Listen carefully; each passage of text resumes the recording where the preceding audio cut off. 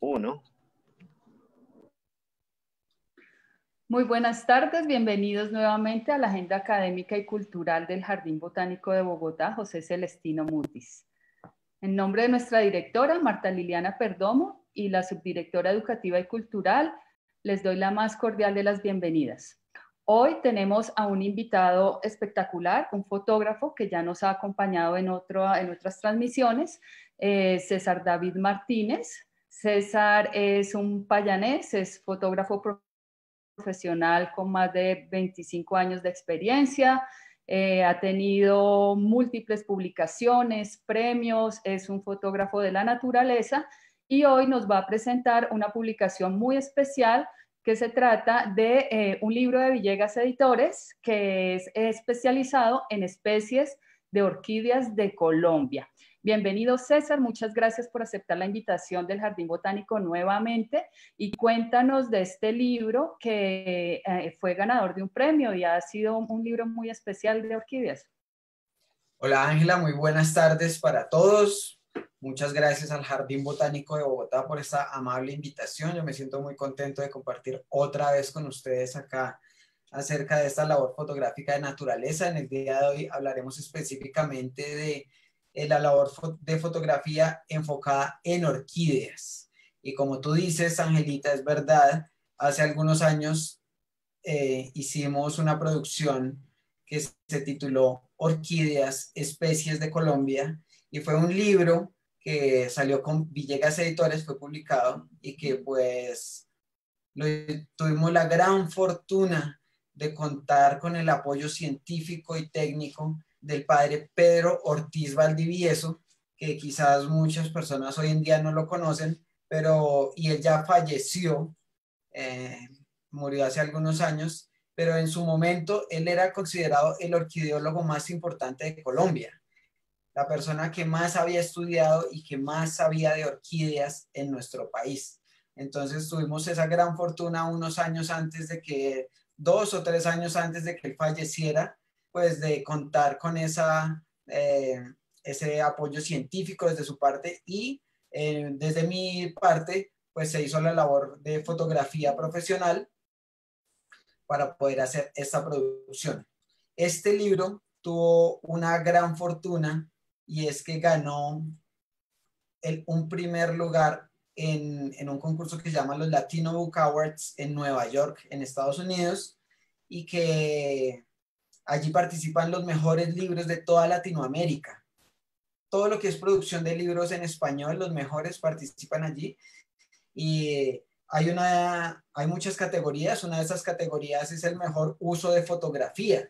Y ese fue ese premio que para mí es uno de los más representativos de mi carrera. Aquí lo pueden observar. Ay, felicitaciones, wow, primer lugar. Qué bien.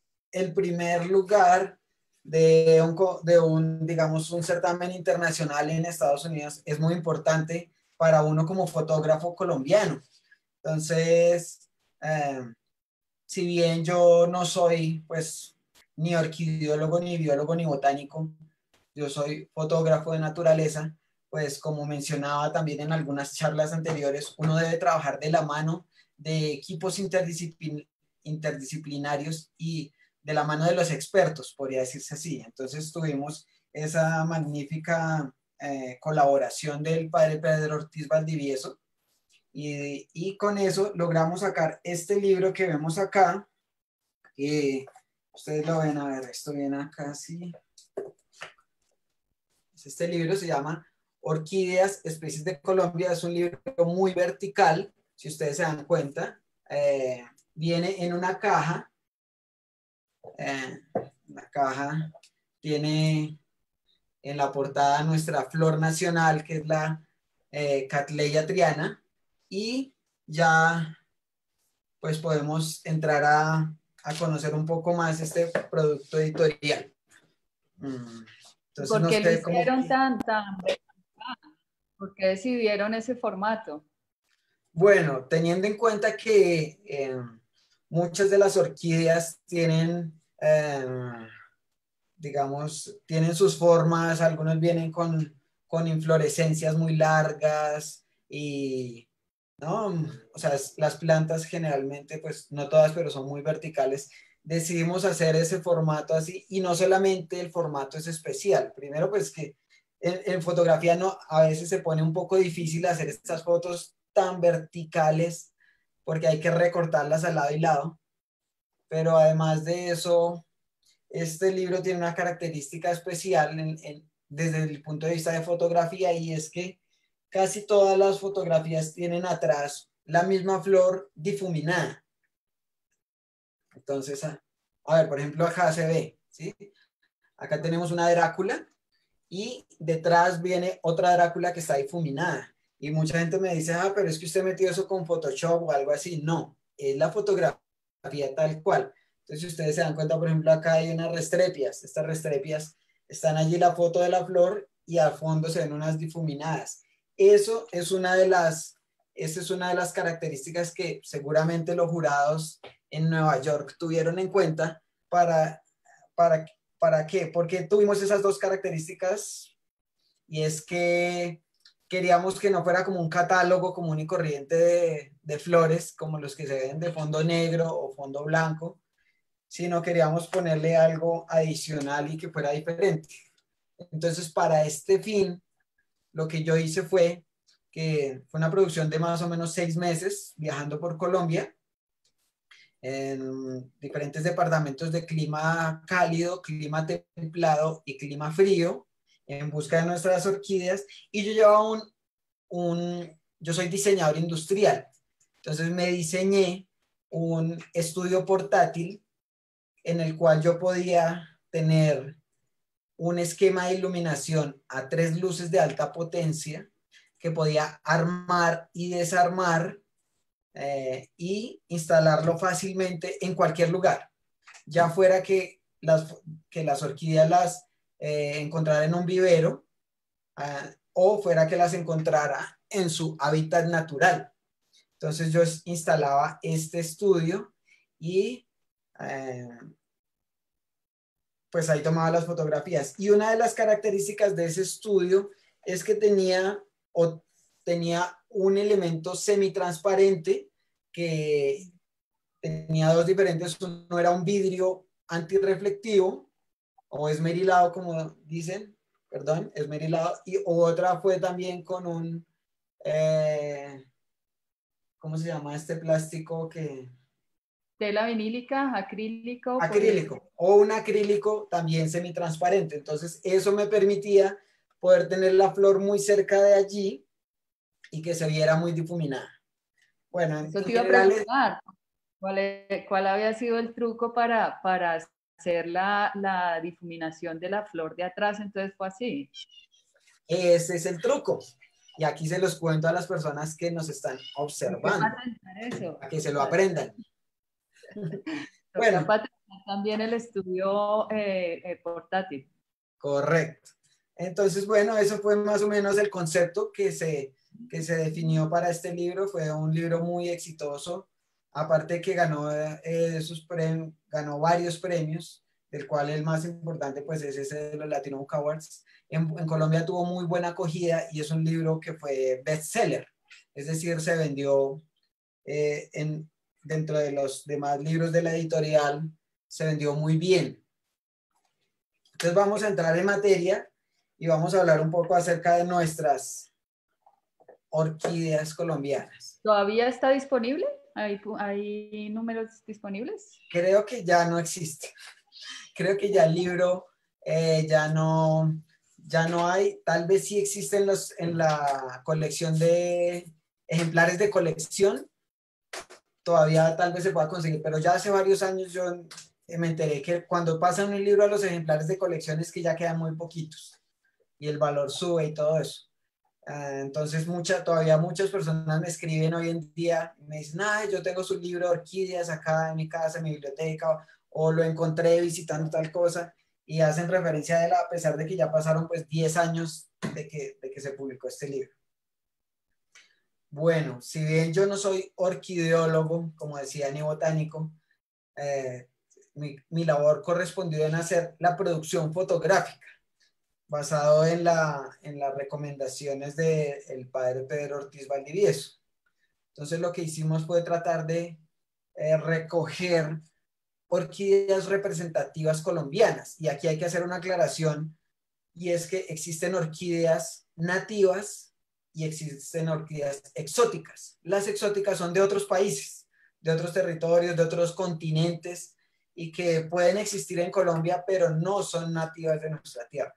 En este caso, todas todo nuestro trabajo se centró exclusivamente en las orquídeas que son especies de Colombia nativas. Empezando por allí. También hay otro tipo de orquídeas y son las, depende de otra clasificación, y son las híbridas.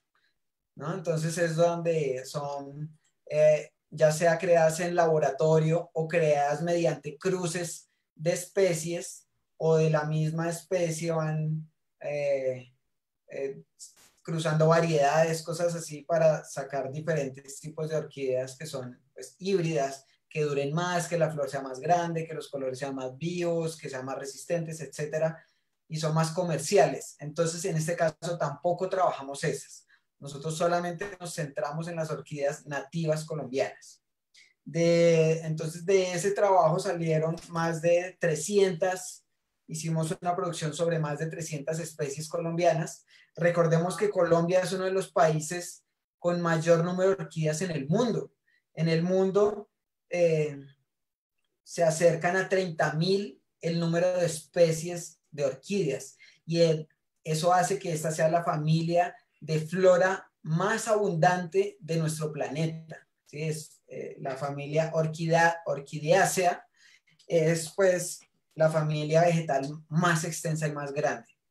Eh, las orquídeas están distribuidas en todos los continentes del mundo, pero predominan principalmente en las áreas tropicales, como Colombia, por ejemplo. Y Colombia, debido a su eh, posición privilegiada en el globo terráqueo y a su geografía tan diversa, eh, pues también hace que tenga una diversidad en orquídeas eh, que la hace el segundo lugar en el mundo.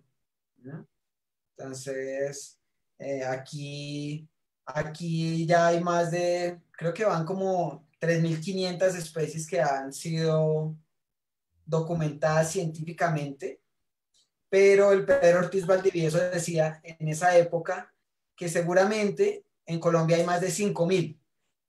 ¿sí? Hay más de 5.000 especies que todavía faltan muchas por identificar, por clasificar, por nombrar, pero que es una labor que poco a poco los, los botánicos y los orquideólogos han ido realizando y, y ese número cada día va aumentando. Siempre se escucha, apareció una nueva orquídea en el Parque Nacional Natural Puracé, una nueva orquídea en Urrao, Antioquia, y cosas así, ¿no? Entonces sale noticias y eso es muy bonito, muy interesante.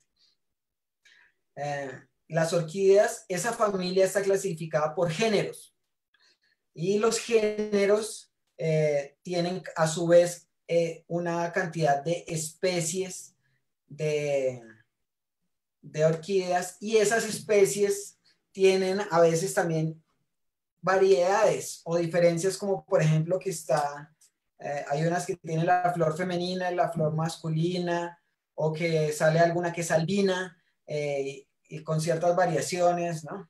Entonces, en fin, en este libro salieron 140, 140 especies nativas colombianas. Voy entonces a presentar pantalla, a compartir pantalla aquí para, para empezar con nuestra, entrar en materia. A ver. A ver, ¿cuántas alcanzamos a ver? ¿O cuántas Ay, Dios mío. vamos a ver? Bueno, inicialmente uno encuentra las orquídeas, como por ejemplo esta, que las, las encuentra uno en las riberas de los ríos, en los barrancos, en los páramos, en las selvas, en el bosque alto andino, en diferentes lugares a las orillas de las carreteras. Ah o las encuentra en viveros así de esta forma. Entonces, uno llega a los viveros y hay viveros muy especializados que tienen una gran cantidad de orquídeas que las cuidan muy celosamente, muy dedicadamente en Medellín, en Cali, en Bogotá, en Popayán, en clima frío, en clima caliente, hay asociaciones de orquideólogos, está la AU, la Asociación Bogotana de Orquideología, ¿sí? la, los antioqueños, la Asociación Colombiana de Arqueología, y bueno, uno se encuentra con, eso, con, con eso y llega a los viveros y se encuentra cosas así. Y para la labor de fotografía, no dañamos las orquídeas, es decir, procuramos eh, hacer una labor eh, en la cual se respetara la planta y la flor sin necesidad de cortarla ni, ni estropearla. Además que pues no eran, muchas veces no eran plantas nuestras, entonces era, no es tan fácil, era complicado. Entonces justamente también por eso lo aquello del estudio. Y cuando vamos a la, a la naturaleza, muchas veces encontramos estas, este tipo de, de, de formaciones donde están allí las orquídeas, ¿no? Como estas, por ejemplo. En cada región de Colombia les tienen sus nombres, lluvia de oro, diferentes nombres comunes a, las más a las que más se encuentran. Y muchas veces también uno llega y encuentra la flor que ya está, eh, de alguna forma ya está pasada. Como estas, en este caso, si tú te das cuenta, aquí vemos que las flores ya están pasadas y no sirven para los propósitos del libro.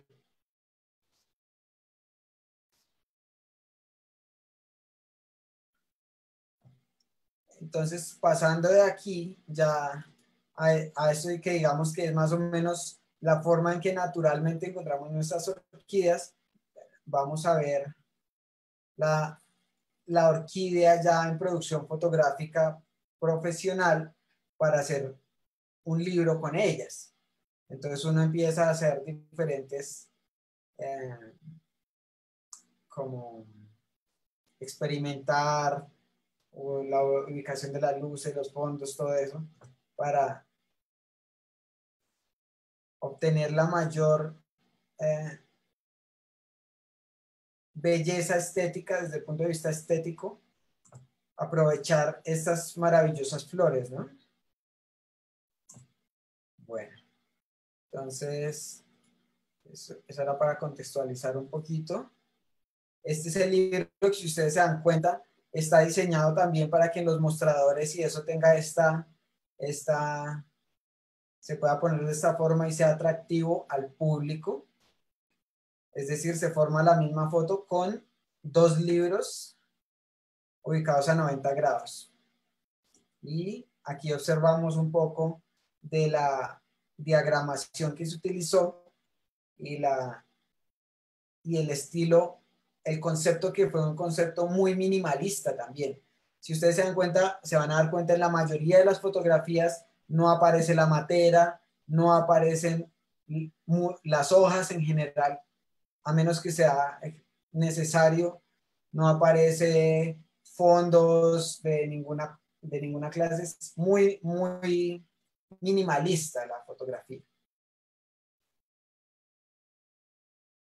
Y bueno listo. Entonces ya entrando en materia un poco, vamos a ir hablando. Por ejemplo, yo quiero hablar de algunas de las generalidades de nuestras orquídeas. Eh, hay orquídeas que tienen una característica especial y es que ellas imitan la forma de sus polinizadores. Entonces, eso es algo que a mí me parece absolutamente sorprendente. ¿sí? Ellas, por ejemplo, esta es una tricoceros antenifer. Está en clima frío y si ustedes se dan cuenta, tiene la forma similar a la de un insecto. Y específicamente, eh, muchas veces esa forma es similar a la forma de la hembra del insecto. O, ¿sí? y, más, más sorprendente aún de que puedan, una especie vegetal sea capaz de imitar una, una forma de un insecto, más sorprendente aún es que sea capaz de generar las ferormonas, las ferormonas iguales a las que genera una hembra para atraer el macho de un insecto. Entonces prácticamente es un engaño que hace la naturaleza y llega el macho de, este polinizador, un insecto, y él piensa que está copulando con una hembra de su especie cuando en realidad lo está haciendo con una orquídea. Eso es algo que me parece a mí fantástico. Me parece eh, sorprendente. Hay otro tipo de orquídeas, por ejemplo, vamos a ver. Mm. Unas muy famosas que se llaman las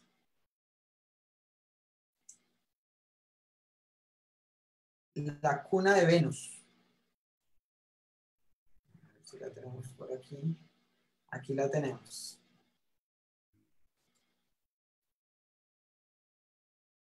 La cuna de Venus es, son, son del género Anguloa y, y, son interesantes porque pareciera que tiene una, una forma una cuna y adentro como, como un, bebé durmiendo y se mueve. Uno las, uno las mueve y, ese, y, y como que pendulara esa parte interior que tengo, creo que es la columna de la, de la, de la orquídea y se llaman los, las anguloas. Vamos a ver qué nos dice el padre Pedro Ortiz de esto.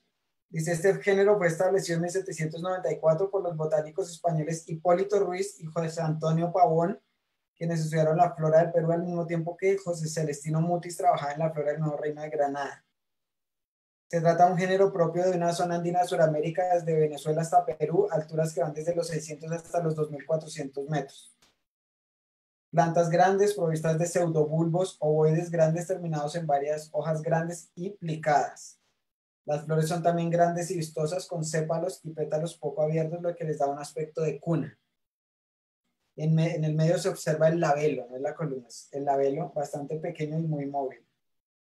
Entonces, aquí observamos otras anguloas que también aparecen en el libro y en Popayán todavía hay descendientes de los Angulo e incluso tienen un vivero que se llama Angulo Orquídeas y, ellos fueron muy amables con nosotros en suministrarnos ejemplares. Vamos a ver otro género que, es, que me parece a mí maravilloso, que son las góngoras. Las góngoras les voy a poner una aquí en pantalla. Ahí la pueden ver. Tienen una, para mí tienen una forma muy similar también a los insectos polinizadores. Parecían como insectos que vuelan. Ahí vemos las góngoras. Y tienen unas inflorescencias de las cuales se desprenden varias, varias, como por ejemplo estas que observamos. ¿sí? Varias flores y que, y que tienen también cierta apariencia con, con insectos. El, el padre Ortiz Valdivieso de este nos dice, género descrito en 1794, también por los españoles Hipólito Ruiz y José Antonio Pavón. El nombre fue dado en honor del arzobispo don Antonio Caballero y Góngora, virrey del Nuevo Reino de Granada quien patrocinó la expedición botánica. Las plantas tienen pseudobulbos surcados terminados de ordinario en dos hojas grandes y plicadas. La inflorescencia nace de la base de los pseudobulbos y puede crecer en forma péndula o arqueada con varias flores de tamaño mediano. Las flores tienen una configuración bastante especial. Los sépalos aparecen dirigidos hacia atrás. Los pétalos nacen a los lados de la columna y son pequeños. El labelo crece paralelo a la columna y tiene una forma bastante particular. Bueno, las plantas crecen en clima cálido a moderadamente frío en América tropical. En Colombia tenemos 35 especies de góngoras. Entonces, ¿qué tal les parece este género? Ahí vamos a observar. Rarísima. Muy raras, ¿no? Y además que son las formas. Una de las otra cosa que a mí me llama muchísimo la atención de las orquídeas y es la complejidad de sus estructuras. Si bien hay unas que son más simples, hay muchas de ellas que tienen unas formas tan complejas que llegan, yo creo que cualquier artista eh, se les queda pequeño en la complejidad de esos, de esos detalles. Mire, por ejemplo, aquí esta, si observamos, observamos acá. Estos detalles, ¿no? Donde las texturas, el color, la forma de cada, de cada orquídea es absolutamente impresionante.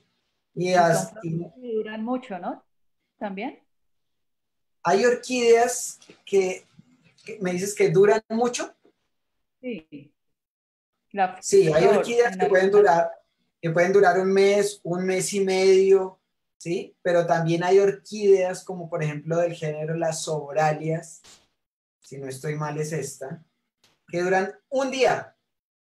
Ellas florecen por la mañana y por la noche ya mueren, ya se marchitan.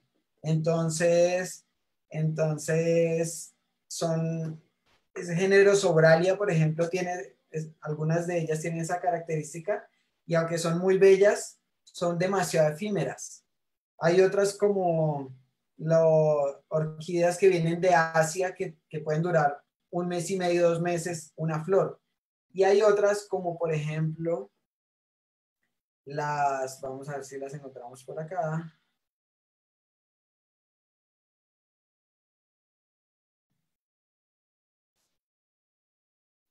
Estas, estas que son las orquídeas que aparecen en, ay, ahora se me fue el nombre, en las, en las orillas de las carreteras y que están en, las encontramos en prácticamente en muchos lugares de Colombia las epidendron, ¿no?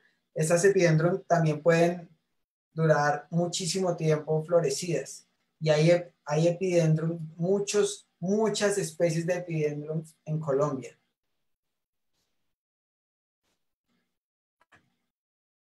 Como por ejemplo estas que observamos acá. Y esas son las que más, las que más se observan, digamos, sobre todas las orillas de los caminos y de las carreteras son muy, muy comunes. Mm, bueno, ¿qué otra cosa podemos? Vamos a ver. Observemos estas de acá. Estas son las Barbocela cuculata, que es una orquídea de clima frío que si ustedes se dan cuenta son muy verticales. Estas barbocelas, pues, tienen una forma bastante particular y estas están en la portada del libro. Estas barbocelas. Por ejemplo, miren esta. Si ustedes se dan cuenta, tiene también la forma. Esta se llama la Malaxis excavata. Y tiene, parecieran las alas de una mosca, ¿no? la parte de la flor. Listo. Vamos a ver. Aquí tenemos otras que se llaman las Catacetum. Catacetum es un género interesante, muy, muy interesante de orquídeas colombianas porque, les voy a mostrar aquí.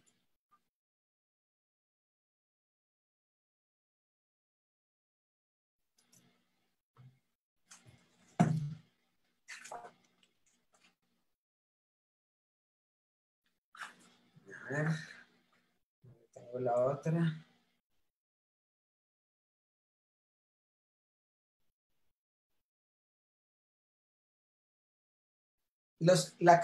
Normalmente las orquídeas son flores que son hermafroditas, es decir, que tienen los órganos femeninos y masculinos en la misma flor, pero tienen sus excepciones. Por ejemplo, esta. ustedes observan ahí estas dos flores, aunque aparentemente son muy diferentes, es la misma especie, solamente que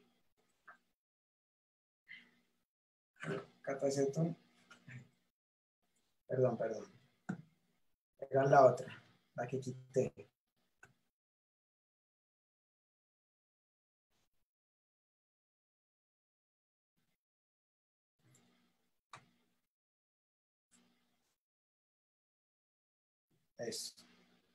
Estas son, estas son las dos. Una es la flor masculina, que es la que tenemos al lado izquierdo, y la otra es la flor femenina, ¿no? Entonces, es la misma especie de orquídea, pero sus flores tienen esa, ese dimorfismo entre la femenina, femenina y la masculina. Acá nos dice el padre, dice, este género tiene una historia interesante. Aunque dos especies del género ya habían sido dibujadas para la expedición botánica, como pasó con el resto del material de esta expedición, quedó sin publicar hasta el año de 1995, cuando por fin se editó el tomo, el cuarto tomo de las orquídeas. Este género se distingue de la mayoría de los géneros de orquídeas por tener flores masculinas diferentes de las femeninas. Las flores masculinas tienen en su mayor parte unas antenas sensibles. Cuando se tocan despiden con fuerza los polinios para que se le peguen al insecto polinizador. Eso es, eso es muy interesante. Recordemos que los polinios, el, el, el polen de las orquídeas no viene en forma como de polvo o de néctar, sino muchas veces viene en forma como unas masitas. Y, los polinizadores, esas masitas, en algunas especies se les pegan a las patas o a la espalda o a las alas de sus polinizadores. Y las orquídeas, como en, este caso, aquí vamos a ver, son estos que vemos acá. Cuando ellos sienten, cuando la orquídea tiene un mecanismo que siente que está el polinizador y con fuerza le aplica el polinio y queda pegado en en el cuerpo del polinizador y luego este se va a otras flores y pues allí a las flores femeninas y, la, y las fecunda. Las flores femeninas muy diferentes están hechas para recibir el polen y formar cápsulas de semillas. Esto llevó al principio a que algunos botánicos pensaran que se trataba de dos géneros diferentes. Es un género propio de la América tropical y en Colombia se conocen más de 30 especies de Catacetum. ¿Qué tal te parece eso, Angelita? Pues me parece impresionante y me sorprende mucho. Y bueno, es un asombro de verdad las estrategias, ver cómo la naturaleza mm, tiene estas estrategias, eh, pero sobre todo no consigo el tiempo que le costó llegar a este punto de sofisticación seguramente son millones de años, ¿no? Millones de años para llegar a, esta, a este nivel, como dices tú, de sofisticación. Al punto de que despide con fuerza el polino y se lo pega al, al polinizador y tiene flores femeninas y masculinas. Bueno, vamos a ver otras. Esta, por ejemplo, dicen que que tiene como la forma de un ángel. Si ustedes miran bien el, la, la textura de este género, tienen, tienen como formas parecidas a un ángel. Aquí en, en pantalla les voy a mostrar otra de este género que llaman las Miltoniopsis y pareciera como un ángel volando allí en medio de la de la flor. Entonces, de este género nos dicen, este es uno de los géneros más populares en los cultivos de Colombia y del mundo. Antiguamente se llamaban miltonias, aunque un nombre que aún es usado por muchas personas. Sin embargo, las verdaderas miltonias son de Brasil y se diferencian claramente de nuestras josefinas o reinas del valle, cuyo nombre científico es Miltoniopsis.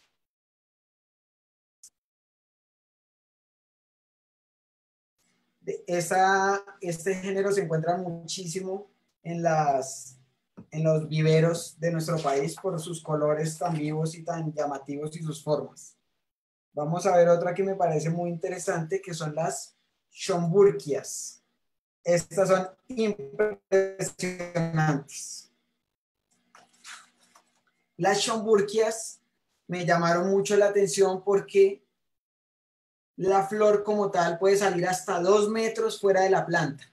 ¿sí? Tiene, tiene una... La inflorescencia la sostiene como un, no sé si eso se llamará un tallo, pero es larguísimo. Y, y forman estas orquídeas, miren esa, con unos colores y unas formas impresionantes. El padre nos dice las Schomburgias establecido en 1838 por el botánico inglés John Lindley, pariente de las Epidendrum y de las Catleyas, pero se distingue de estos por tener ocho polinios. Son plantas grandes con pseudobulbos alargados y surcados terminados en una o dos hojas. La inflorescencia tiene un pedúnculo largo que termina en un racimo apretado. Pedúnculo. Eso es lo que mide, puede medir como dos metros de largo. Que termina en un racimo apretado de flores medianas con sépalos y pétalos semejantes, labelo relativamente pequeño y columna ventralmente cóncava. El color predominante es el morado o marrón, a veces con bordes más claros. En Colombia tenemos 11 especies de Schomburgias muy difíciles de identificar. Bueno, listo. Para que lo diga el padre.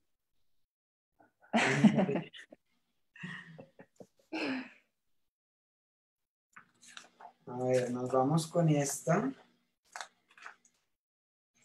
Estos son notilias. Notilia álvida y son de clima cálido. ¿sí? es, esta inflorescencia, esos son, pequeñitos, eso podrá tener 8 centímetros, tal vez 8 centímetros de alto. Y si hacemos el cálculo, cada flor puede tener 4 o 5 milímetros de tamaño. Esas son esas famosas orquídeas miniaturas que no por su tamaño dejan de ser igualmente muy bellas, ¿no? Notilia albida. Vamos a ver cuántos nombres nos aprendemos hoy. Porque miren esto, por ejemplo. Aquí vamos a ver, estas son las...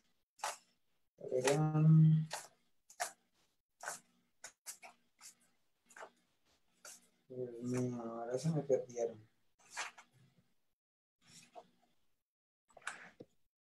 Bueno, muchas gracias a la gente que está conectada mientras César encuentra el nombre de esta maravillosa orquídea.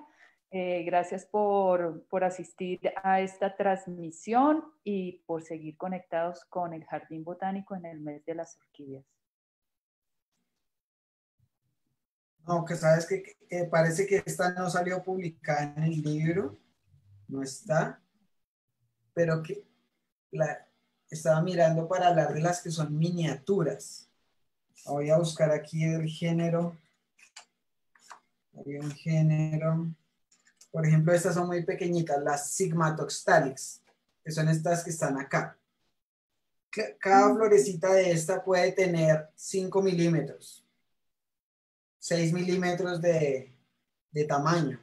Son muy, muy diminutas, muy pequeñas. Y este género nos dice el padre, se trata de un género de orquídeas muy pequeñas, de apariencia bastante curiosa, tienen pequeños pseudobulbos terminados en una hoja y varias hojas en la base de estos. La inflorescencia es lateral en racimo de varias flores pequeñas. Los sépalos y los pétalos son semejantes. El labelo suele tener una forma bastante complicada, muchas veces con lóbulos y callos prominentes. El nombre significa columna en, en forma de S, muchas debido a que muchas especies tienen una columna delgada y arqueada. En Colombia hay 37 especies, principalmente de clima cálido y medio. Estas, aquí vemos otras, Sigmatoxtalis también.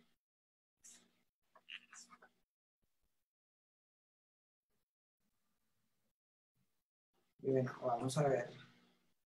Miren estas. Estas, por ejemplo, son las que la flor puede tener un milímetro de tamaño. ¿Se imaginan eso? Uno o dos milímetros tiene cada una de estas florecitas. Entonces... El polinizador entonces será súper especializado en ese tamañito. Seguramente son insectos muy, muy pequeñitos y especializados en, en, en esas miniaturas.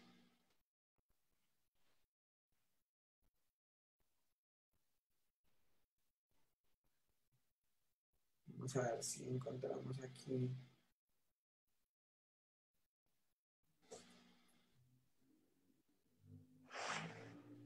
Estas. Este es otro género que también son muy, muy diminutas las flores y son las estelis. Cada, cada flor de esta puede tener 3 o 4 milímetros de tamaño. Entonces dice, estelis es un género de orquídeas miniaturas en su mayor parte. Está emparentado con pleurotalis. Cada planta solo tiene una hoja. La inflorescencia suele ser un racimo de muchas flores muy pequeñas algunas no pasan de unos pocos milímetros de diámetro. Las flores suelen ser muy sencillas, con tres sépalos semejantes y pétalos pequeños más anchos que largos. Y labelo también pequeños sin adornos especiales. Otras tienen un sépalo relativamente grande y un sin sépalo. Unión de los sépalos laterales opuestos. El género fue escrito originalmente por el botánico sueco Olof Schwarz en 1800. En Colombia existen alrededor de 180 especies de Stelis. Por e, mm. esta, esta en particular se llama Stelis loxensis. Stelis loxensis. Vamos a ver. Tenemos por aquí otras Stelis.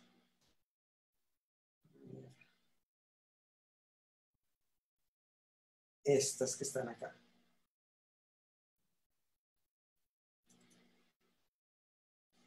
Estas también son esteles. Si se dan cuenta. Mm, hay unas que son muy peluditas, ¿no? De esas. Ya te las muestro. Esas que tienen pelitos también son estelis. Esta que acabamos de ver se llama... No, incluso al padre no la supo. Estelis SP. SP quiere decir especie. Pero esas que tú dices que son peluditas, míralas y esta sí tiene nombre. Esta se llama Stelis eublefaris. Eublefaris. Y ahí vemos las flores que son muy peluditas. Tienen esa, esa característica. Bueno. Vámonos a otro género, por ejemplo. esta me encanta. ¿Qué tal la estructura de esa flor? Mm. Hay unas de esas que parece que, tuvieran como unas caritas de unos seres de, no sé, de cuento de hadas. ¿Esas son de qué género, Cecita? Las Dráculas. Ya vamos para allá, ahorita vamos a ver las Dráculas. No, Dráculas, no. ¿Esa que, esa, esta de qué género es? Estas se llaman pleurotalis. Ah, las pleurotalis. Hay unas que tienen como, como si se les marcaran unas antenitas y unos ojitos, caritas extrañas, son como de fantasía, de verdad que son de unas formas, pues... Pues la que yo conozco que tiene un rostro es una Drácula que parece un simio. Y ahorita vamos varias, a ver. Hay varias. Pero seguramente hay otros que...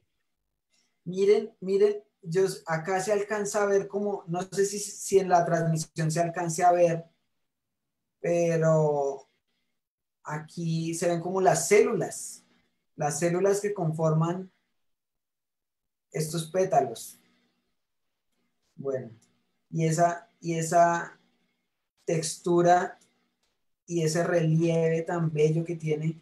Y esta es una orquídea muy pequeña, tal vez puede tener un centímetro o 1,2 centímetros de, de, tamaño. Pleurotalis, género creado en 1813 por el botánico inglés R. Brown. Su género, su nombre se deriva del griego pleura, lado y talo, florecer, porque es una especie, porque en la especie tipo las flores proceden del lado de la hoja.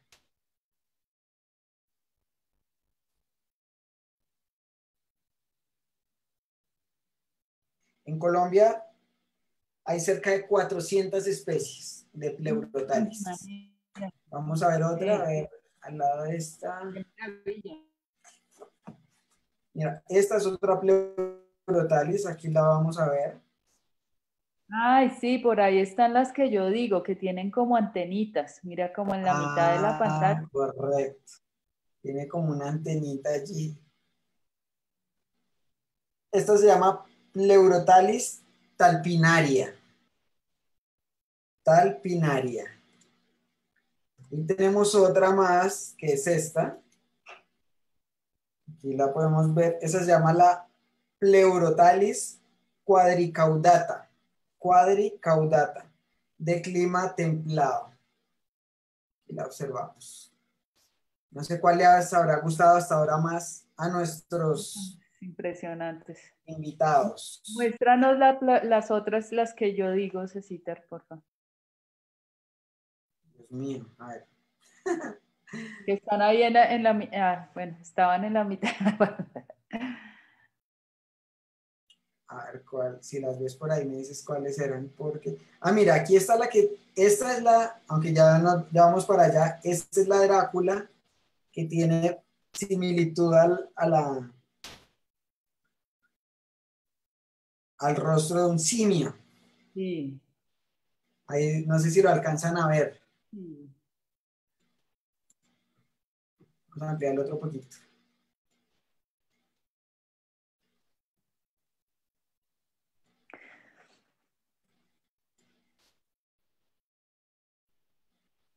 Bueno, ya que nos saltamos acá, vamos a hablar de las. Mira, míralas, están ahí abajo, a la a mano izquierda abajo. Abajo a mano izquierda. Ahí, ahí, abajito. ¿Estas? Ahí, sí, esa y las de al lado, sí. Ah, De al lado. estas me encantan. Estas son las, si no estoy mal, las restrepias. Vamos a ver, 118. Sí, estas son las restrepias. Correcto. estaba confundiendo. Estas restrepias son así tan. Esta, por ejemplo, es la restrepia Falkenbergi. Falkenbergi. Y sí parece como un. Tienen como un rostro, ¿no? Como un. Con su nariz y todo eso, eh, como un bigote. Vamos a ver otra restrepia acá.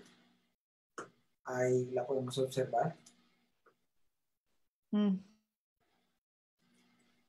Qué espectáculo esa flor. Esta también es otra restrepia. Esta se llama la restrepia gutulata. Gutulata.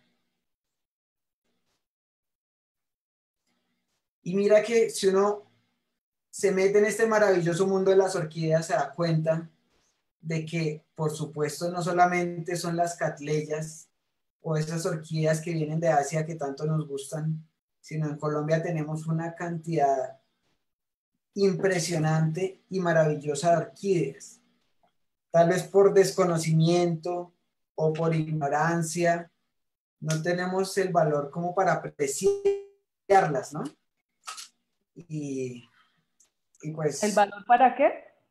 o sea, como no apreciamos, no le damos el valor que tienen es- estas plantas tan importantes en nuestro país. Sí, por eso son tan importantes estas transmisiones y el trabajo que hacen ustedes, eh, los fotógrafos, eh, las personas que describen la- las nuevas especies, que pues divulgan el conocimiento, porque es, la riqueza es infinita y, y sí, a veces nos quedamos con, pues, con unas pocas, ahí desaprovechando la oportunidad de disfrutarlas y conocerlas y cuidarlas y conservarlas. Sí, eso es restrepia. Entonces está la restrepia contorta, la restrepia gulata, restrepia fallergi. En, y en Colombia hay cerca de 30 especies de restrepias. Esta, que creo que esta no salió publicada en el libro. Vamos a ver. Sí, me parece que estas de las flores que no, que estas transmisiones sirven también para contar un poco eso, porque muchas se quedan por fuera. Entonces mira esta belleza de inflorescencia como le sale ahí y no salió publicada. Que en el, toca que hagan el segundo tomo. Eso, toca hacer el segundo tomo de, de nuestras orquídeas. Vamos a hablar, bueno, vamos a ver estas.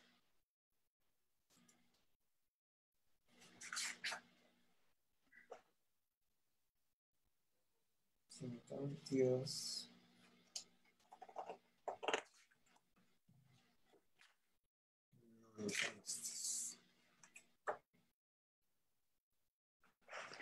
Bueno, mientras tanto agradezco la sintonía y que estén conectados todas las personas que nos saludan.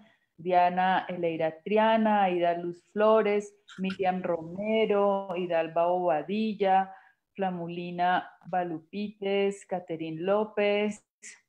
Eh, Caterín pregunta, eh, ¿cómo se llama el libro?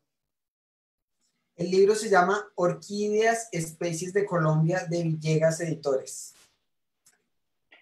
Pero pues le contamos que no, no, seguramente no se encuentra disponible porque el libro ya tiene 10 años de haber sido publicado. Sí, no, lamentablemente no es tan fácil de conseguir. De pronto en algunas librerías puede haber, pero es muy difícil. Toca ya como por debajo de cuerda conseguirlo. O con algún amigo que lo tenga. Sí, de pronto en una, en una librería de, segunda mano. Bueno, sería bueno en Villegas no, no se han interesado por hacer publicaciones digitales. Pues ellos en su página ponen, algunos de los libros ponen, ponen los PDFs al público, pero lo, están en, muy, en un tamaño muy pequeño. No, lo, no, no, no se observan así como eh, grandes, no. Claro, porque bueno, es, estos libros, ya que, por ejemplo, este libro que contó con la participación del padre Ortiz Valdivieso, pues se, convierte en un libro de consulta con información muy confiable, entonces pues mm, para ese propósito servirían estas eh, publicaciones eh, digitales. Eh, a ver, yo quiero confirmar eso acá en la página de Villegas. Nos saluda Armando Gómez desde Quipama, Boyacá. Gracias por algo tan importante para la conservación de la flora silvestre.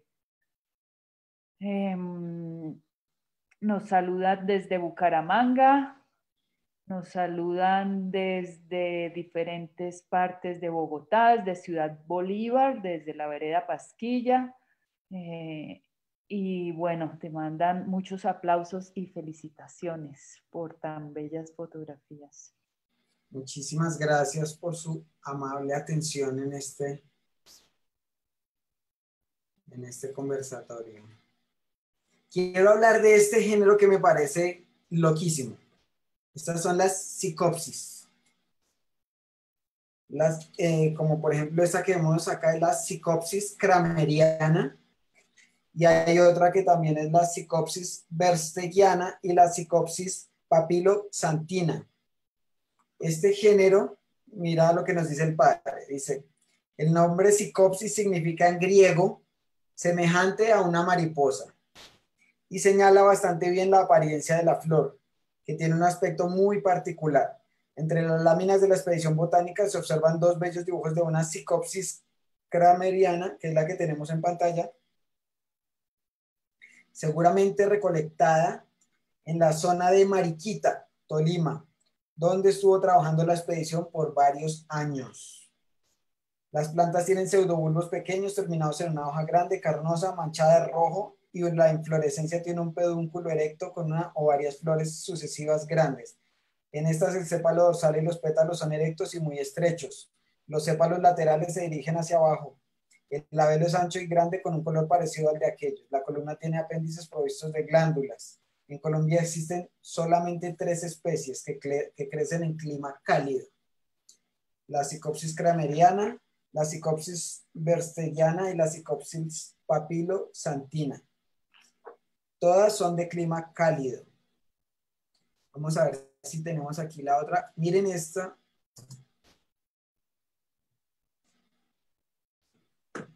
Esa flor y esa estructura que tiene tan impresionante con esos tonos y colores. Y mira que las dos especies se parecen mucho, la crameriana y la verstegiana.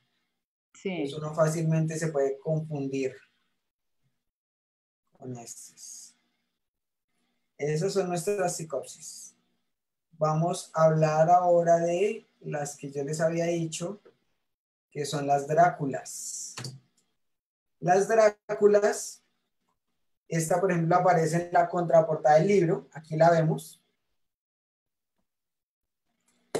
Estas Dráculas están aquí en la página 36.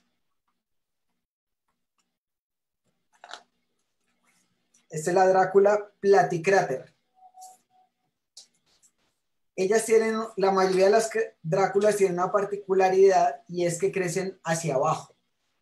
Entonces uno en los viveros ve que ellas no crecen hacia arriba como la mayoría de flores, sino de la planta sale como hacia abajo una, ellas cuelgan e incluso les gustan los lugares oscuros, los lugares que no tienen mucha luz. Vamos a ver qué nos dice el padre de este género. Aquí vamos, mientras tanto voy a poner aquí la Drácula chimaera, de clima medio y frío. Miren el detalle de esa estructura.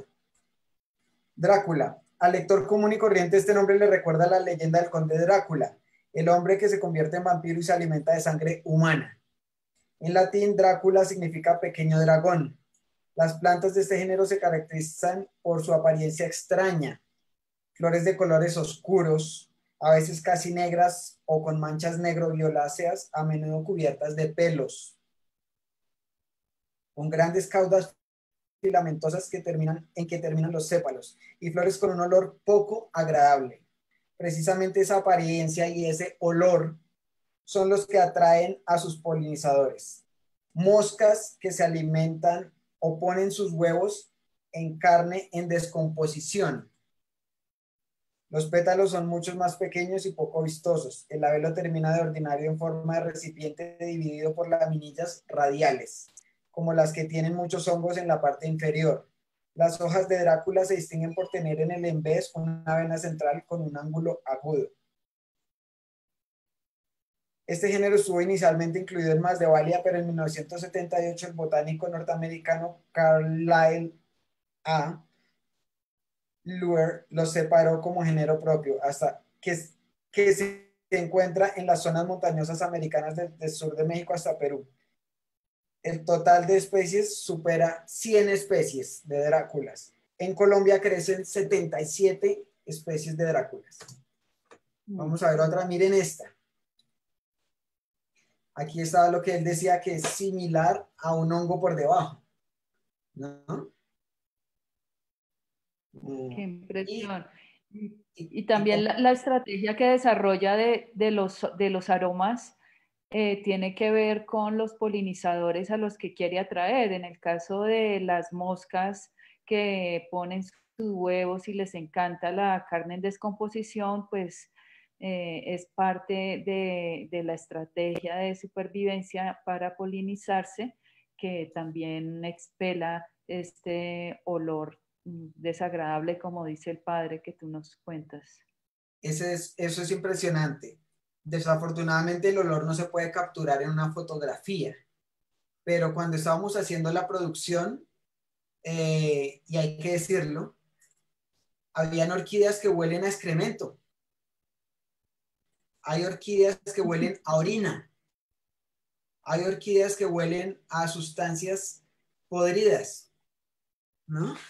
Entonces, eh, la misma estrategia que hablábamos. Ellas eh, atraen a sus polinizadores engañándolos, haciéndoles pensar pues que puede ser excremento o orina o una materia en descomposición. Entonces, eso me parece, independiente de que a ti te guste o no te guste este olor, es algo maravilloso esa relación que existe entre una especie vegetal y una especie animal, ¿no? ¿Cómo es capaz de conquistarla? Bueno, esas son nuestras Dráculas. Aquí voy a ver otra Drácula, también similar a lo que decíamos, lo que decía el padre con sus em, pétalos con pelillos. Y esta que es la que parece un, un simio. Bueno, ¿qué tal les parecieron las Dráculas? No, increíbles. vamos a hablar ahora de un género que para mí es de mis favoritos. Esto sí es fuera de serie. Vamos a, la encontramos aquí en la página 134 del libro y son las estanhopias. Estas flores parecen sacadas del mundo espiritual. so, parecen ángeles, no sé, o parecen hechas como con queso. Yo no sé. A mí. Y estas son todo lo contrario de las Dráculas. Son flores que huelen absolutamente delicioso. Uno se enamora de estas flores solo con olerlas. ¿Te parece a la góngora? Imagínate, relativamente parecidas. Pues a ver qué nos dice el padre de estas, de las, de las estanjopias. Dice, se trata de un género compuesto de plantas epífitas. Recordemos que las orquídeas son epífitas, más no eh, parásitas. Mucha gente dice, ah, en el campo le dicen, no, no, ah, sí, las parásitas, que son las orquídeas que creen, no, las parásitas se alimentan de los fluidos y de, de la planta hospedera. Las orquídeas no se alimentan de la planta hospedera, simplemente la utilizan como una estructura sobre la cual eh, crecer, ¿sí? Pero ellas no se alimentan de la planta como tal. Entonces son epífitas más no parásitas. También las hay terrestres, ¿no? Y sobre las rocas también pueden crecer. Correcto. Sí, muchas de ellas crecen sobre los troncos de los árboles o sobre terrenos eh, rocosos, barrancos eh, o sobre tierra también. Entonces, hay de, varios tipos en ese sentido. Tipo de adaptaciones, sí. Bueno, dice, se trata de un género compuesto de plantas epífitas con pseudobulbos terminados en una hoja grande con venas provenientes por el embés. Las inflorescencias son péndulas, esas también van hacia abajo, compuestas de dos o más flores grandes de forma muy especial. Los sépalos y los pétalos aparecen dirigidos hacia atrás y el abelo se compone de un hipoquilo, parte basal, de forma generalmente cóncava, un mesoquilo, parte media con frecuencia provisto de unos cuernos curvos, ahí vemos el cuerno curvo, y un epiquilo, parte apical, apical agudo. Se conocen en el mundo más de 85 especies, de las cuales 26 se encuentran en Colombia, en clima cálido a medio. Bueno, les vamos a dar otras, otras, a ver, otras estancopias que tengo acá. Miren esta belleza. Estas son las que parecen hechas de queso.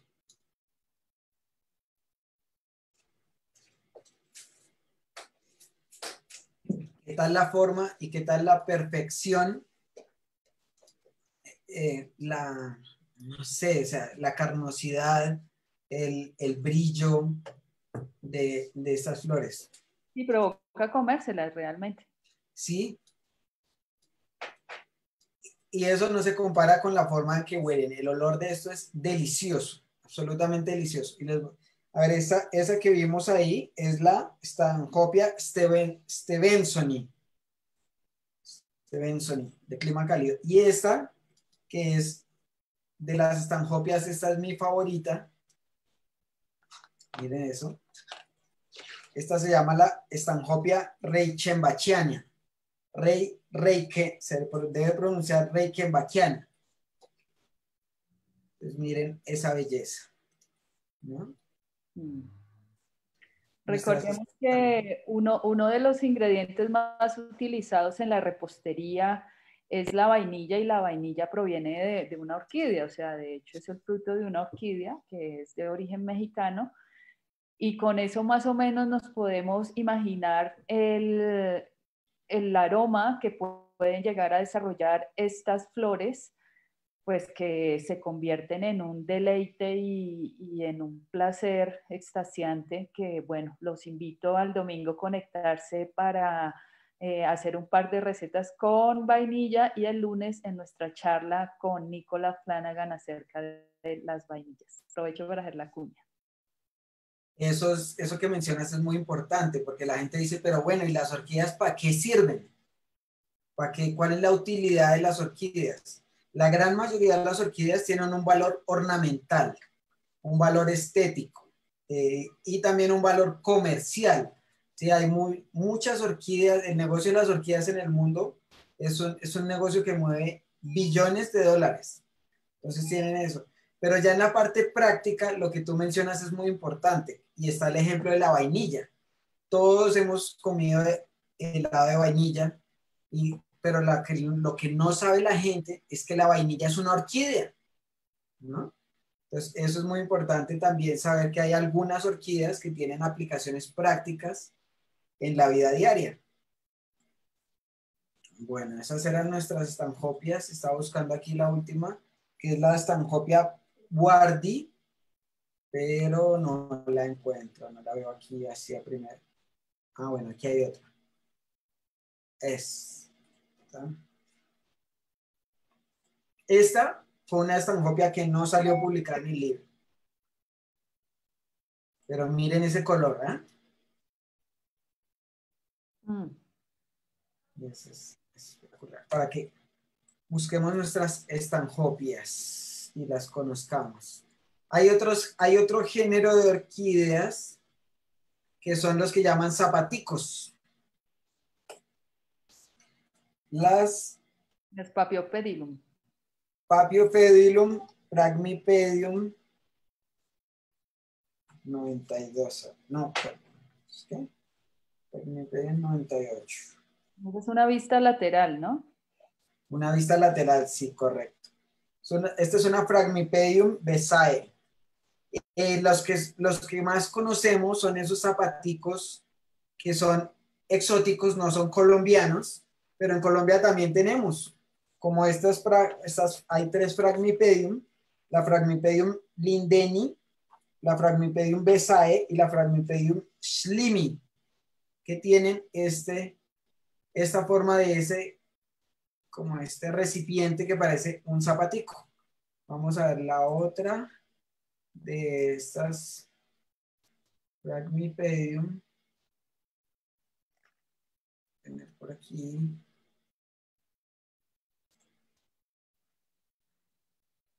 se me hizo. Es una blanquita.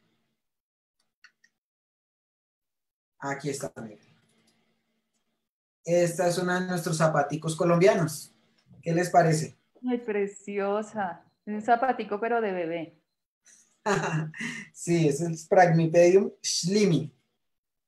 Entonces tenemos esos tres. Respecto de esos, dice el padre, popularmente llamados zapaticos, son conocidos de todos los aficionados, aunque muchas veces se incluyen bajo este nombre plantas de origen asiático mucho más grandes y variadas. Nuestros zapaticos se distinguen a primera vista porque tienen el labelo muy en forma de zapatilla y los pétalos como cordones. Eh, pero no todos los tienen de esta forma, pues hay una variante que tiene el labelo igual a los pétalos y otras especies que tienen los pétalos cortos y anchos, como esta. Pertenecen a los grupos más primitivos de orquídeas tienen dos polinios a los lados de la columna, no en forma de masitas desprendibles, sino como polvillo. En este caso sí es polvillo. El tercer polinio está transformado en un estaminodio como escudo central sobresaliente y los estigmas como estructura saliente en el ápice de la columna. Hay algunas especies de tonos verdosos, otras con colores muy llamativos. En Colombia existen 11 especies, todas muy apreciadas por los cultivadores. Entonces vea que también tenemos zapaticos acá en Colombia. Les voy a mostrar, me voy a volver a, a uno que vimos anteriormente, aquí, para que veamos los, los, que, los que normalmente conocemos como zapaticos.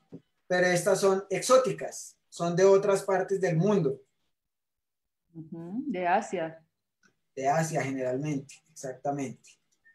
Pero en Colombia también tenemos los nuestros. Bueno, vamos a ver. ¿Cuánto tiempo nos queda, Angelita? Pues ya vamos eh, pensando en, ir concluyendo lastimosamente, son las 4 y 13. Entonces, dale con algunas especies Mira, Este es, este es un género, género importantísimo que son las masdevallias. Las masdevallias son flores muy apreciadas por los orquideólogos.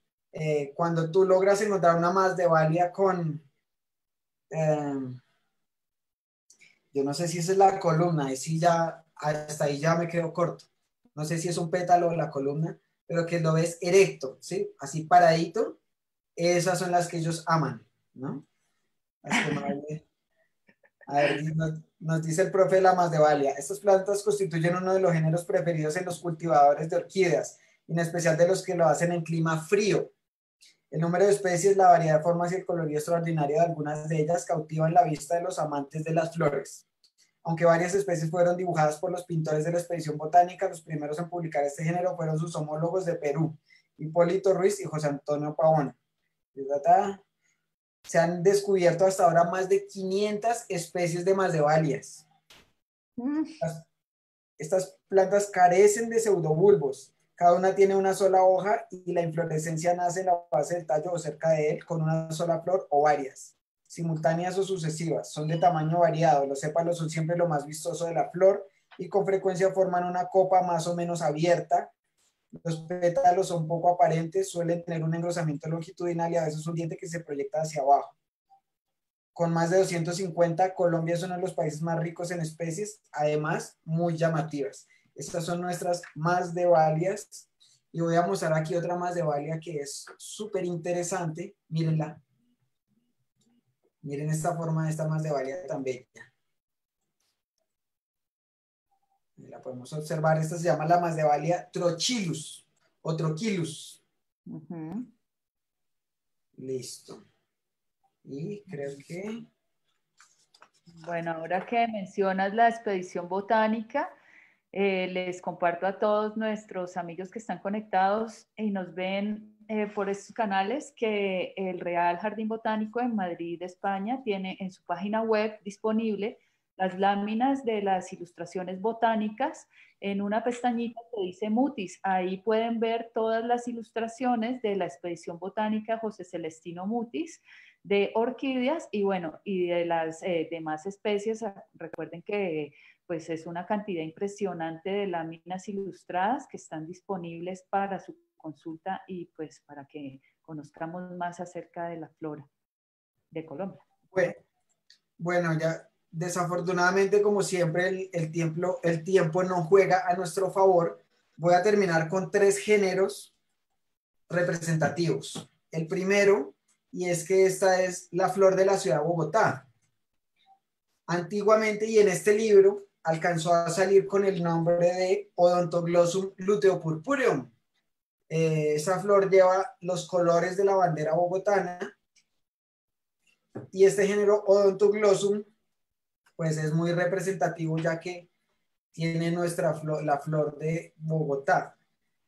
Me corrigen los expertos, pero tengo entendido que la cambiaron al género Oncidium luteopurpureum, ¿no? Tú sabes que a medida que hacen investigaciones del ADN y moleculares y, bueno, tantas cosas que ya eh, se especializan los, los expertos, dicen, no, esta no era de este género, sino era del otro. Entonces ahí se confunde uno tras de que los nombres ya son difíciles, ¿sí? Aprenderse el nombre odontoglossum luteopurpureum, después van y se lo cambian por otro. Y ahí quedamos todos graves.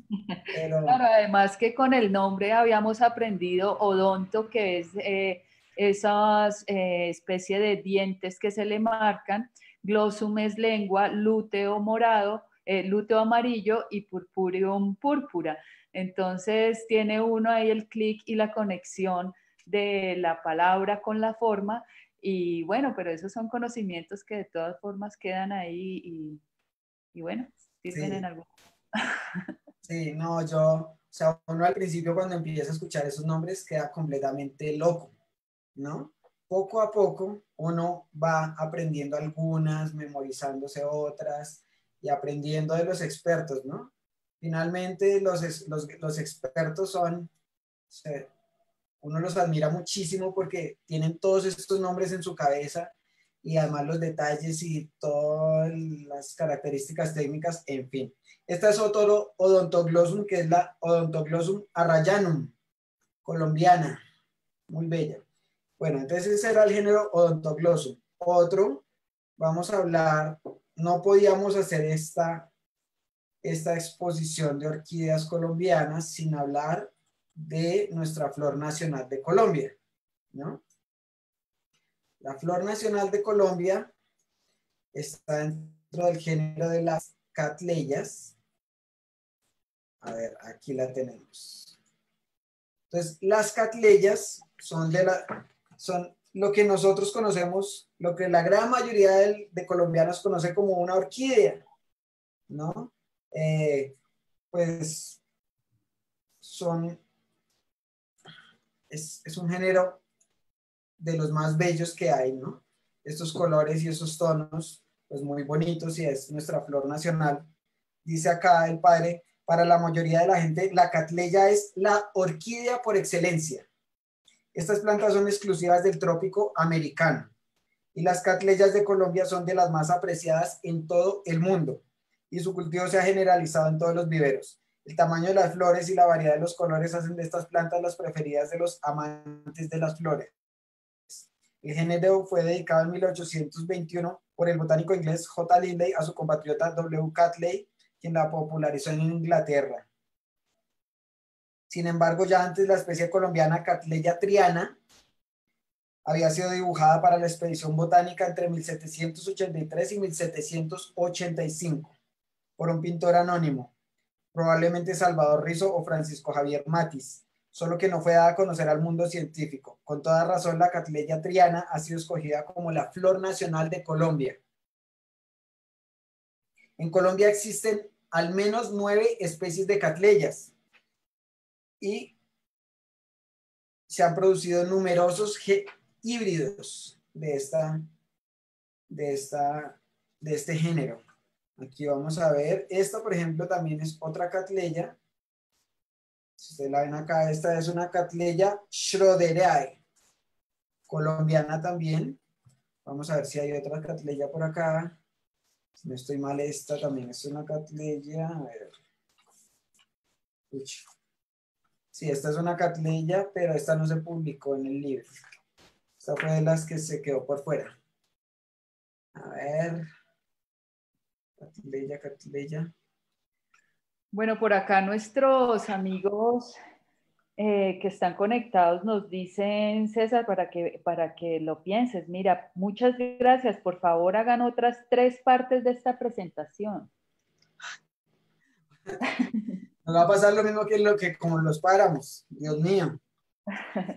pues me alegra mucho que les guste conocer un poco acerca de nuestras orquídeas y esta labor fotográfica que se hizo. Eh, yo les pido disculpas porque, como les decía, yo no soy ni orquidólogo, ni botánico, ni biólogo. Entonces a mí me cuesta igual que a cualquier otro desde el nombre de la orquídea y todos los detalles. Mi labor fue traducir eso a un idioma fotográfico y presentarlo en este libro.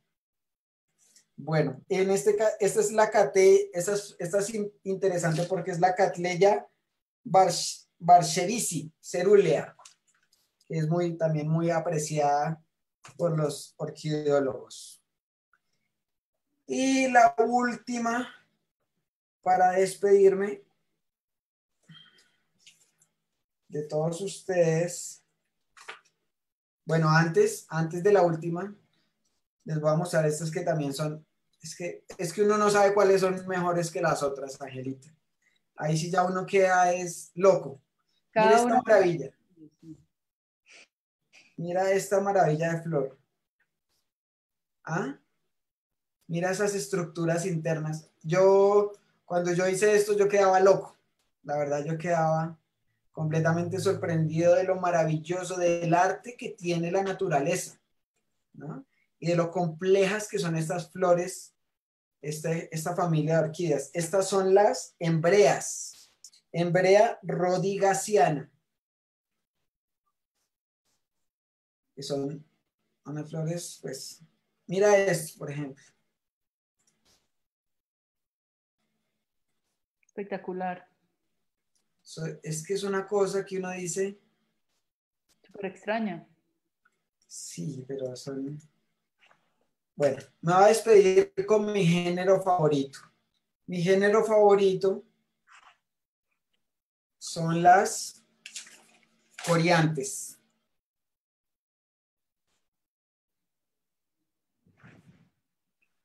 Vamos a ver. Las coriantes tienen una característica que son estas. Ellas tienen una, una copa, ¿no?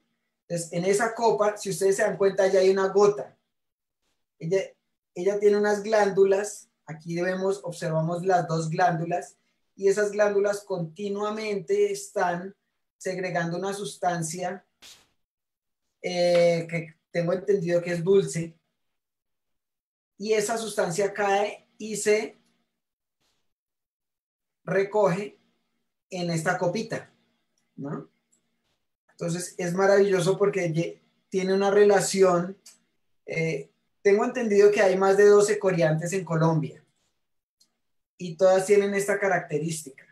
Entonces ya sea una hormiga o algún tipo de insecto, es el polinizador de esta planta y ellos tienen que llegar y pues la planta los alimenta con, con esta sustancia. Pero para ellos poder entrar y salir a esa cámara donde está el alimento, ellos tienen que tocar los polinios y se llevan ese, ese, el polen para que la planta sea fecundada, o sea, polinizada en, en, en otras plantas, ¿no? Y lo que me pareció más, más interesante es que cuando las, supongamos, eh, las hormigas ven que la planta está siendo atacada, ya sea por otros insectos o por hongos o por lo que sea, las, orquídeas, las hormigas la defienden. Ellas defienden su, fuente de alimento. Entonces, es una relación, yo no estoy seguro si es mutualismo o es una relación simbiótica, pero, pero es algo que me parece también maravilloso. O sea, aquí les vamos a mostrar otra coriantes que es esta. Aquí vemos lo mismo. Bueno, aquí desafortunadamente la gotica está muy al borde. no sé si se alcanza a ver ahí en la parte derecha. Y esa se va acumulando en estas, en estas copitas y pues para mí es una flor absolutamente, la estructura de estas flores también son absolutamente maravillosas. Pues no sé si, si tratamos de responder algunas preguntas, por favor, las preguntas no, que no sean de botánica ni de, ni de cosas eh, biológicas, porque yo no soy experto, como les dije. El experto que acompañó este libro fue el, Pedro, el padre Pedro Ortiz Valdivieso, pero a nivel fotográfico, estético, del libro y todo eso, si tienen alguna inquietud o preguntas, pues podemos tratar de, dedicarle unos minuticos a eso. Muchísimas gracias a todos los participantes, muchísimas gracias por, por, por, eh, estar en esta, compartiendo un poco, conociendo un poco de fotografía de naturaleza enfocada en nuestras orquídeas colombianas. Ah, bueno, mientras se les ocurre alguna pregunta, miren esta. Esta es una Drácula que es especial. Cuando, si ustedes han visto en el género, en nosotros los seres humanos, a veces nacen las personas albinas, que no tienen pigmentación ni en el cabello, ni en las cejas, ni en las pestañas, ni en la piel. Y puede ser una persona negra, pero uno la ve blanca, con cabello blanco y cejas blancas y, y pestañas blancas. Lo mismo sucede en el reino animal y lo mismo sucede en el reino vegetal. En este caso, esta es una orquídea muy rara. La persona que la, persona que la tenía decía, es, fácilmente esta planta puede valer un millón de pesos, porque es, es rarísimo. es una Drácula albina o semialbina, porque no es completamente blanca, pero, pero, pero, pero si ustedes se dan cuenta, el tono natural carece de esos pigmentos propios del género. Entonces, eso ellos lo aprecian muchísimo. Esta tampoco salió publicada en el libro, pero pues la documentamos. Sí, César, eh, gracias. Bueno, te preguntan, te dicen eh, cantidad de felicitaciones y pues que es poesía visual lo que tú nos estás mostrando. Eh, hay, bueno, una pregunta acerca de, mm, ah, bueno, acá preguntan por las láminas de del Jardín Botánico, entonces entran a la página del Real Jardín Botánico y ven, buscan la pestaña de Mutis y ahí van a, encontrar las, las, láminas de la expedición botánica. Pero tienen acá una pregunta, un par de preguntas. Eh, ¿Cómo haces para que la luz del ring flash no haga que la flor quede brillosa? Ah, bueno, pues Gracias por la pregunta. Yo no uso Ring Flash.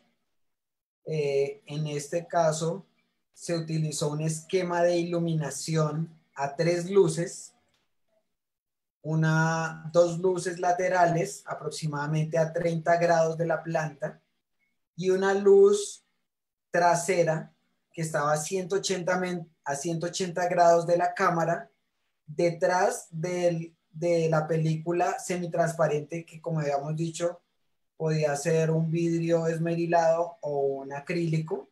Entonces ahí ya se dan cuenta ustedes que son tres luces diferentes. Las dos luces, las dos luces laterales eran luces eh, con una con difusor para que la luz fuera difuminada, ¿sí? Quitarle la luz dura que produce una, una cabeza de flash sin, sin ningún tipo de, de modificador de luz. Mientras que la luz trasera sí era una luz sin difusor. La luz trasera. Entonces yo tenía que, ¿dónde estaba un poco la, la experticia? Era en lograr el equilibrio de esas tres luces para que ninguna fue, quemara la escena, podría decirse así, pero que, me, pero que apareciera bien la flor, pero que eh, el color fuera fidedigno, pero que la que está atrás también quede iluminada, etcétera, ¿no? Entonces, más o menos, más o menos eso, eso fue la técnica utilizada. Preguntan por el lente también, ¿qué lente utilizaste? La gran mayoría del libro eh, fue documentado con el lente de Canon macro 100 milímetros. Es un lente especializado en macrofotografía, tiene una apertura de f2.8 y, y es un lente muy interesante porque incluso esas orquídeas que mirábamos que podían tener como estas, por ejemplo, 2 milímetros, 2 milímetros cada flor, tiene uno la, la, posibilidad de documentarlas bien, como estas, por ejemplo, ¿no?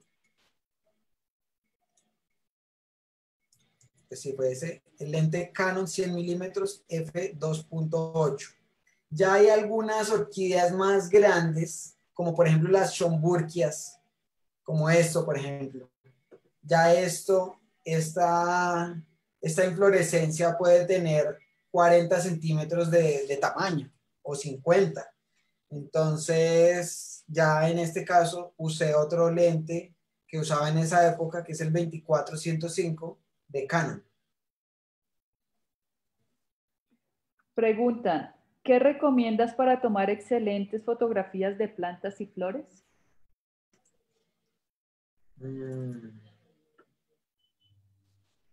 Wow, mm. eso parece de cristal, de azúcar. Son son semitransparentes. Bueno, lo primero que uno debe hacer cuando, cuando se acerca a, un trabajo de esta naturaleza donde, donde pues vamos a intentar documentar la flora de nuestro país, es asesorarse de un experto. Uno debe asesorarse de las personas que han estudiado, que conocen, que llevan años investigando el tema, porque ellos te pueden dar todas las claves, ¿no? En qué época del año florecen, en qué clima las consigues, eh, en, qué, eh, cuál es la flor ideal, ¿no? Lo que decíamos, lo que si tiene el, la columna o el pétalo así erecto es la ideal. Cosas así como ese estilo solamente las saben ellos. Uno, uno llega ignorante a, a encontrarse con un trabajo de esta naturaleza. Después de, de, eso, pues ya uno puede, con esa asesoría técnica y científica de los expertos, pues uno puede hacer un plan de trabajo en el cual tratar de alguna forma hacer un trabajo digno y un trabajo representativo de, de, de esas especies de flora que, que, que va a documentar. Entonces, y luego de eso, hay que definir un concepto. Entonces, ese concepto en este caso, por ejemplo, pueden haber un millón de conceptos diferentes. En este caso fue fotos verticales con un concepto minimalista, con un esquema de iluminación específico, que es el que les acabo de decir, con un con una ah, fondo blanco eh, difuminado eh, y, una, y la misma especie de flor detrás que aparece difuminada. Ese es el concepto del libro y todo el libro se desarrolla de esa forma. Entonces, si ustedes se dan cuenta a lo largo de todo el, de todo el trabajo, es un trabajo que tiene una unidad formal y estética muy, muy característica. Uno parte como les decía al principio, uno empieza de esto. Eso es lo que usted ve. Eso es lo que uno se encuentra. Uno, usted llega a un vivero y esto es lo que encuentra. Entonces encuentra palos, alambres, eh, cositas que la sujetan, plantas enteras, hojas, hojas dañadas, encuentra materas, el fondo que tiene una característica y de eso usted tiene que llegar a lo que acabamos de ver. O bien, como decía, los encontramos en la naturaleza de esta forma, ¿no? En, en sus ambientes naturales también, y ahí mismo también uno tiene que llegar y, y partiendo de eso, llegar a algo como esto, por ejemplo, ¿no? Entonces, eh, pero inicialmente es un concepto, definir ese concepto y eso tal vez es lo más difícil. Nosotros con Benjamín Villegas nos demoramos para definir ese concepto casi más de un mes y medio, dos meses de trabajo solamente definiendo el concepto hasta que, hasta que lo tuvimos claro y lo hicimos. Dijimos ya, por ahí nos vamos. Excelente. Bueno, eh, para cerrar y terminar, quiero agradecerte, César, de verdad ha sido impresionante, podríamos quedarnos mucho más tiempo acá, pero desafortunadamente pues hay otros compromisos que atender. Eh, esa, esa, es impresionante, es que cada flor, cada flor tiene su, su encanto. Eh, yo les recomiendo a todas las personas que son aficionadas a las orquídeas y que están preguntando algunas cosas eh, de cómo, de sus cuidados en casa, que estén conectados con la programación que resta de este mes, porque todavía nos quedan unas charlas interesantes acerca de eh, las orquídeas en sus aspectos botánicos de cultivo y de cuidados. Entonces, estén, sigan conectados con las redes, eh, de, las redes sociales del Jardín Botánico. Nos, nos queda todavía buena parte de la programación de los últimos días muy interesante para compartirles. Compartan, por favor, las transmisiones para que más gente tenga acceso a esta bella información. Y bueno, muchísimas gracias por estar conectados, Cecitar. Eh, bueno, a las personas que preguntan eso, yo les tengo el dato y es que hay una colección de cuatro libros que se llaman Orquídeas Tesoro de Colombia, eh, del doctor Carlos Uribe, también un orquidólogo muy representativo de nuestro país. Él lleva décadas décadas dedicado al estudio y al cuidado y al cultivo de las orquídeas. Entonces, en estos cuatro libros de orquídeas, él explica los sustratos sobre los cuales se deben cultivar, los, los cuidados especiales que hay que tener, los diferentes tipos de eh, formas de acabar con las plagas, con los hongos, con, los, eh, con plantas que son como, ¿cómo les dicen? Las, bueno, otras plantas que llegan y que pueden invadir el, el, el medio donde están las orquídeas. Ahí él habla de de la parte científica, de la parte técnica, de la parte botánica. Entonces, son libros que vale mucho la pena eh, consultar y son, eh, eh, los libros se llaman Orquídeas Tesoro de Colombia. Los que quieran adquirir este libro, pues, como decíamos, es difícil. Yo no sé si en Villegas Editores todavía tengan alguno de los últimos en, en los especiales de colección, tal vez puedan tener, o si no, en, en algunas librerías donde se consiguen de segunda mano. Pueden, pueden estar algunos ejemplares y esto pues es una, un esfuerzo más desde la fotografía de naturaleza para el conocimiento y la conservación de nuestro patrimonio natural, en este caso representado en las orquídeas, especies nativas de Colombia. Todas estas orquídeas que acabamos de ver no son híbridas, no son hechas en laboratorio, no son exóticas traídas de otros países, son colombianas, son nuestro patrimonio colombiano de nuestras orquídeas. ¿Y cuál es la, tristeza? Que las, aunque hay, probablemente tenemos casi 5.000 especies de orquídeas en Colombia, están en peligro crítico. ¿Por qué? Porque las orquídeas habitan en el bosque nativo.